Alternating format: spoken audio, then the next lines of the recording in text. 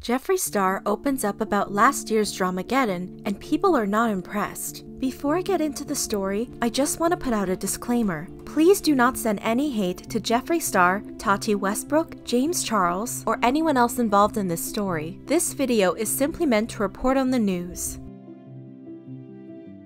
You may remember in 2019, Tati Westbrook and Jeffree Star publicly ended their friendship with James Charles over social media. Tati dropped a video titled Bye Sister, exposing issues she had with James over the years. Jeffree tweeted and deleted that he had receipts of James being a predator. James Charles clapped back with a 41 minute long video full of receipts, claiming Jeffree was being defamatory and hurtful. You may remember Jeffree texted James calling him a danger to society. Jeffree later apologized for judging James based on what people told him in a video titled Never Doing This Again. So, back to the present. On April 28th, Jeffree Star was interviewed by Keemstar, FaZe Banks, and Colossal is Crazy on their podcast, Mom's Basement. Keemstar asked Jeffree about the claims he accused James of. Is James Charles a danger to society? Is he a predator? If James is actually a danger, then this is the opportunity where you can say something, you know what I mean? Or is like, maybe you shouldn't have put that tweet out. Like, which one is it? Jeffree explained why he tweeted such serious allegations at the time and confirms that he was and still is unsure about the allegations.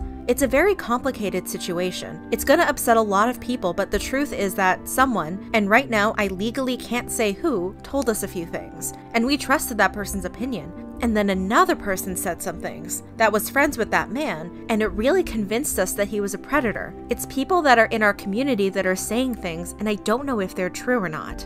If you want, we can pause and I can play what I have on my phone, and he can determine if he would have sent the same tweet. At the end of the day, I'm not gonna out a victim of James Charles because I don't know if it's real. Jeffree expressed frustration with how people viewed him after the drama. It's so up because everyone wants to make me a you ruined James Charles' career. No, Tati did, and uploaded a 40 minute video about him, and she should have never uploaded that, but she did. Jeffree revealed that James thought the drama was orchestrated. For some reason, James thinks that me and Shane tried to ruin his life and orchestrated the whole thing, like we You know Shane longer than me, Keem. You think we care to drag or ruin someone? For what? We're our own superstars. We're our own lane. We're doing our own thing together, and we've made so much magic. Why would we ever want to bring someone down? We don't give a you have to remember, everyone unfollowed James. Not just about my tweet. It wasn't, oh, me, Shane, and Tati against this person. Jeffree also shared that James recently unfollowed one of Jeffree's close friends because that friend was following Jeffree and Shane.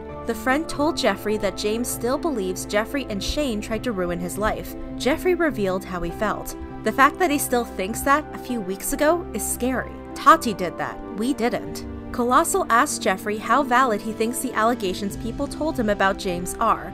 It's a scary subject. It's not someone saying this is an entire crime. It's just people told us some things, and I don't know till this day if they're true, because they shut up and got quiet when the whole world and CNN cared about James, Tati, Jeffree. Colossal asked Jeffree if he could share what the allegations were. Jeffree refused and explained why. No, I don't. I just don't feel comf. I can't and everyone thinks this is tea and views and money. And they really use this stuff and it's really gross. And I think James has dealt with enough mental abuse. Keem asked about Jeffree and Shane's relationship with Tati after the drama. Jeffree said, We are currently not friends with Tati. Are we enemies? No, but we are not friends anymore. Keem and Jeffree wrapped up the podcast by giving some final opinions. Keem highlighted that there is still no proof against James. At the end of the day, like, PewDiePie was the first one to come out and be like, hey man, you know there's no proof that James is doing this. And then I came out on Drama Alert and I was like, yeah, we gotta stop the canceling of James Charles because there's really no proof. And there is still to this day no proof in the public that he is an actual predator. Jeffree gave a public message to James.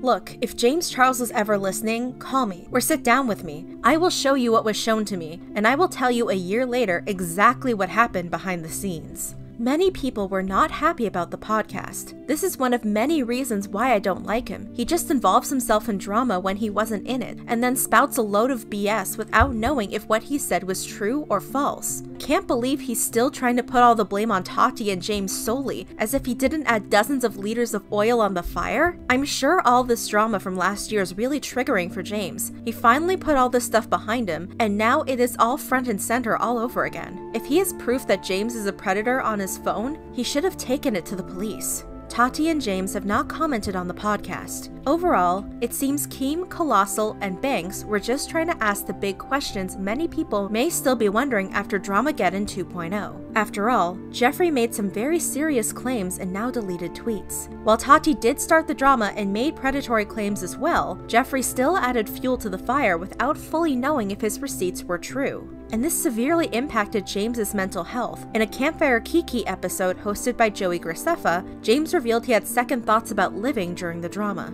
I'm so glad that you have that friend group because Me too. especially during your last like whole scandal thing, if you didn't have that, like that would have been so difficult. If I didn't have that, I would be dead right now. Like I, I say that like not even like being dramatic. I don't think I would have made it through everything that went on like without them being with me and making sure that I was okay and like waking up in the middle of the night to check on me like every 10 minutes to make sure I didn't like literally do something dangerous. So you can see, it's important to think about how your words can impact others, especially when you have such a large influence like Tati and Jeffree. What did you think about Jeffree's response to the drama a year later? Let me know in the comments below.